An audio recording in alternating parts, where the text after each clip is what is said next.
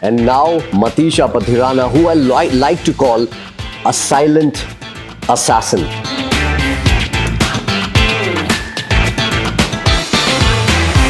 You've also played with another legend, that's MS Dhoni. You know, they call him Captain Cool, they call him possibly one of the best captains of not only this generation, but possibly one of the top three captains ever. So, how was it playing with MS Dhoni? And what did you get to learn? What is it that he talks when you're not playing? From the IPL also, I learned a lot of things. And MS Dhoni is the legend, I think. Uh, I'm really lucky to got like that opportunity in this age. Why are you so quiet all the time? First, I want to know this. Nothing much because I like to be alone.